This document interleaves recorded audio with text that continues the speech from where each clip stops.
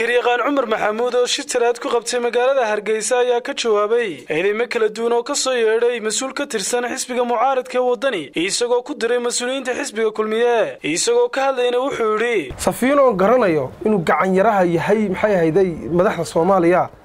Ee sijaayadaha intuu u qaado dad madaxdeena afduuba uu ag dhigayey ra'iisul wasaaraha soomaaliya iyo si madaxdeena shaambadda ugu dhacdo inuu maanta somalilan iyo maxaday dadka somalilaannimadu ku dheer tahay inuu wax ka sheego isagoo kale ma ah shirkii dhawaaye nairobi ka dhacay inuu dhacay oo xaqiiqa uu jiro waxaa muujinaya safiino inuu ognahay inuu gacanyaraha soomaaliya yahay oo madaxda soomaaliya afar labaatan saac sidaa ugu xidhan yahay oo sacuudiga safiirka soomaaliya gaadhigiisa uu saarnaa afar labaatanka saacadood oo uu shaqaynayay uu calanka soomaaliya lulayey soomalilanimada ka damqanayay oonu ognahay inuu gacanyaraha soomaaliya yahay.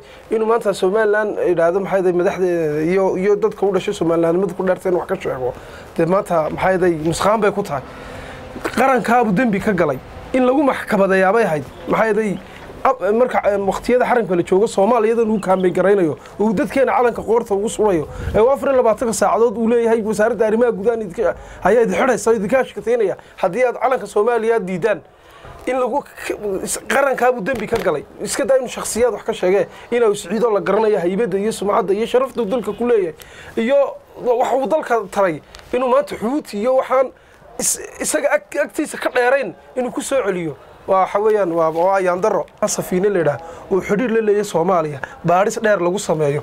Anaguna aan markhaatiyo maragyadooda soo dhigayno inuu ninkaasi xidhiir la leeyahay soomaaliya. Ismaan axmed ismaan star t v. Hargeysa